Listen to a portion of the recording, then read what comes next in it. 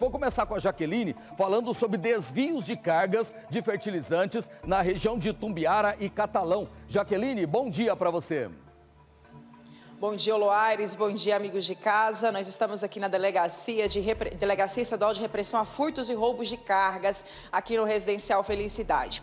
É porque a polícia está com uma operação neste momento chamada Solo Fértil. Começou na sexta-feira, não tem data para terminar. Até o momento, a polícia já recuperou 50 bags. Cada uma delas tem, estima aí, uma tonelada de fertilizantes é, furtados. É estelionato, aquela, aquela, aquele sistema é seguinte, a pessoa a, né, contrata a B para poder fazer um transporte desse fertilizante.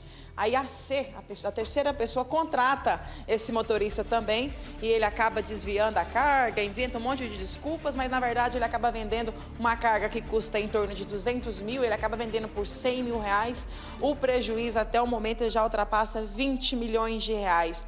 Ao nosso lado está o delegado Diogo Barreira, que está aí tomando conta dessa operação. A operação é grande, a gente tem acompanhado que esse trabalho da polícia tem sido feito né, mês após mês e a, a resposta está vindo, né? 50 toneladas recuperadas é um, uma coisa muito boa para quem estava tendo esse prejuízo. Né? Boa tarde, delegado.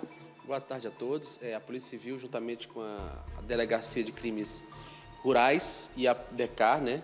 Iniciaram essa, essa, operação e conseguiram recuperar 50 toneladas de fertilizante aqui na região de Bom Jesus de Goiás, Itubiara, né? região do Triângulo Mineiro, onde ela era revendida. Esses, esses, esses motoristas eram cooptados por uma organização criminosa, iam lá, buscavam a mercadoria e entregavam em um local diferente por um preço bem mais barato que o valor de mercado, cerca de 100 mil reais, uma carga que custava 200 mil reais. Delegado, essa carga era de onde, ia para onde, como, qual foi a região do estado que isso aconteceu?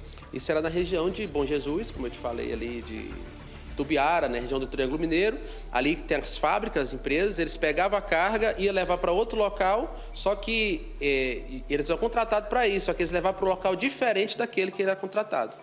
E os o pessoal que estava no prejuízo já foram contatados? Exatamente, as vítimas já são contatadas, já, já, entramos em contato com elas. Inclusive, a gente já fez, pugnou pelas prisões preventivas desses motoristas e também dos receptadores que estão comprando essa mercadoria bem abaixo do preço de mercado. Então, é uma mercadoria muito cara, a gente sabe disso, e comprar pela metade parece um bom atrativo, mas fala quais são os riscos que essas pessoas correm, delegado. Exatamente, é, comprar pela metade é um bom atrativo, só que eles incidem crimes, né, com penas aí que varia de 4 a 8 anos de reclusão. Sem falar o crime de organização criminosa, que é um crime com a pena bem maior ainda. E outra coisa, também essa mercadoria está sendo muito requisitada nesse momento devido a esse problema da importação de fertilizantes, da guerra da Ucrânia, então o preço aumentou muito. No caso, a pessoa que, que compra, né? Você disse que tem esses riscos aí. A pessoa que está querendo comprar, então, está sabendo um preço, também responde pelo mesmo crime? Também, também responde. Se a pessoa comprou essa mercadoria por um preço menor, responde também pelo crime de receptação qualificada. Tem alguma dica para o pessoal que precisa contratar um motorista para fazer o transporte?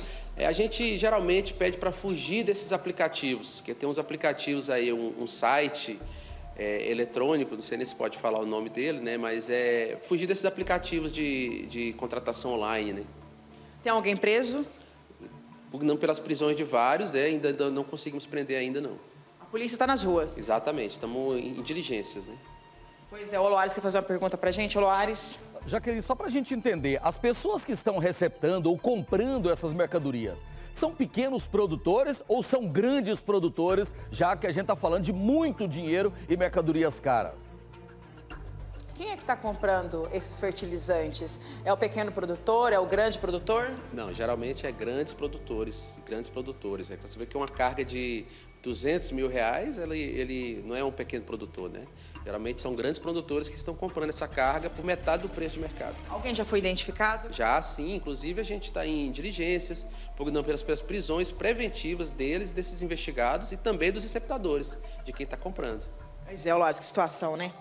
Pois é, o agronegócio aí precisa reagir a isso, né? Fertilizantes furtados, é, agrotóxicos furtados, ou seja, a pessoa que compra, paga 100 mil, 200 mil, 300 mil, meio milhão, um milhão de reais, sabe muito bem do que está comprando. Ou seja, eu fiz essa pergunta só para deixar bem claro, Jaqueline, não são os pequenos produtores, são os grandes, os gigantes do agronegócio que muitas vezes acabam entrando nisso aí. Ou o mercado reage, ou então daqui a pouco vão começar realmente boicotes. Obrigado, Jaqueline, parabéns à polícia aí combatendo né, a venda de, de agrotóxicos, fertilizantes aí, é, contrabandeados, furtados também.